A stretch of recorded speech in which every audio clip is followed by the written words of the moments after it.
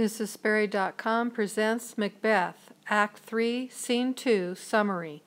Lady Macbeth asks a servant if Banquo has left the palace. He tells her that Banquo has left, but he will return that night. Lady Macbeth tells the servant to go and get Macbeth because she wants to talk to him. After the servant leaves, Lady Macbeth speaks her thoughts aloud.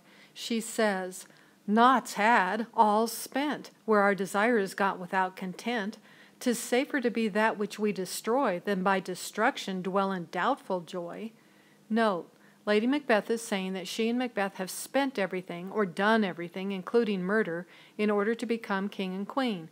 She says that they have not gotten anything because they are not happy. Their joy is doubtful because it is full of worry that someone will discover that they have killed to get the throne. She says it is better to be the murdered person than to be a murderer who can never be without the fear of being discovered.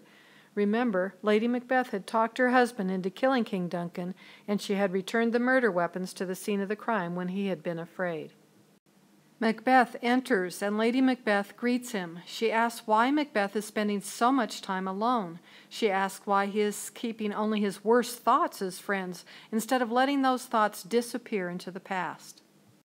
Lady Macbeth tries to comfort Macbeth and herself by saying that the worrying thoughts Macbeth has should have died when he killed King Duncan and his guards. She says that things which do not have a remedy, things that cannot be fixed, should not be thought about. She says that what is done is done. Macbeth cannot change the past. Macbeth says that when they killed King Duncan, they had been like someone who had tried to kill a snake but had only cut it. He says he thinks the snake, the line of men who might try to claim the throne, King Duncan's sons and Banquo and his son, may heal its wound, and its fangs will attack them. Macbeth tells his wife that the frame of things, the universe, can disjoint, fall apart, and both worlds, heaven and earth, can suffer. But no matter what happens, Macbeth will do anything to stop eating his meals in fear and to stop sleeping with the terrible dreams that he experiences every night. He says he had killed King Duncan to get peace, peace from his uncontrollable desire to be king. But now he would rather be dead and be with King Duncan, who has found true peace in death. Both Macbeth and Lady Macbeth agree that the dead Duncan is happier than they are, but Lady Macbeth does not reveal her true feelings. Macbeth says his mind is tortured and his sleep is restless.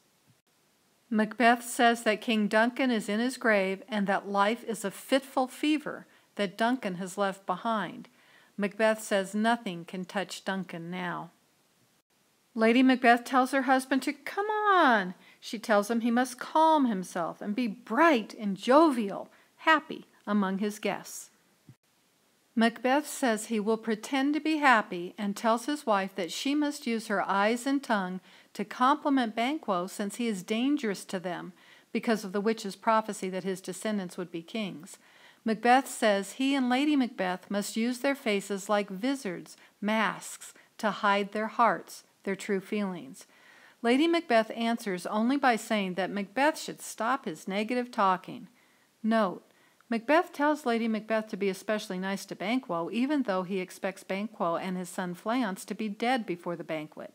He does not tell her of his plan to have them killed. His words about wearing vizards to hide evil thoughts remind us of the words he spoke at the end of Act 1, Scene 7, when he decided to kill King Duncan.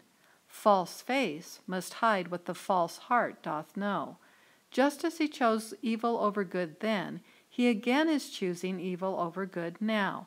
There is a big difference now, though. His wife talked him into killing Duncan, but he arranged for the murderers to kill Banquo and Fleance before speaking to Lady Macbeth. Macbeth responds to his wife's criticism by saying, Oh, and explaining that his mind, his brain, is full of scorpions, unpleasant thoughts, because Banquo and Fleance are alive. Lady Macbeth tells her husband that it would not be natural for them, Banquo and Fleance, to live forever. Macbeth says it is comforting to know that Banquo and Fleance can die and can be attacked. Macbeth tells his wife to look happy when she is with their guests. Then Macbeth tells his wife that before the bats leave the castle cloisters, covered walkways, to go to Hecate, the goddess of witches, and before the beetle makes its nighttime noise and flies off carried on scaly wings, a deed of dreadful note will be done. Lady Macbeth asks what will be done. Macbeth calls her his dearest and says she should be innocent and not know what will happen until she is able to applaud after the deed is done. Then Macbeth calls out to the night that is coming. He asks night to seal, to blind by sewing shut, the eye of pleasant day. Macbeth tells night that after blinding and darkening the kindness of day, night should use its bloody and invisible hand to tear to pieces the bond Banquo's hold on life.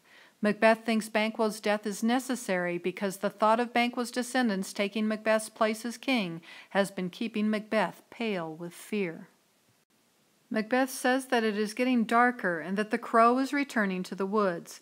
He says that the good things of day, good animals and people, are beginning to get tired and sleepy, while the black agents, animals and people who hunt, are getting ready to find and kill their prey. Macbeth tells his wife that she looks surprised by his words, but he asks her to not question him. He tells her that when people do bad things, the only way they can fix their problems is to do more ill, more bad things. He asks her to please go with him. The Macbeths leave the room. Note, Act 3, Scene 2 shows that although the Macbeths now have the crowns and power they wanted, they are not happy, nor are they a unified couple. Macbeth is becoming the more evil of the two. He turns to Hecate, the leader of all witches, pronounced Hecate by Shakespeare instead of the more traditional Hecate, and to the darkness now taking over his body, mind, and soul.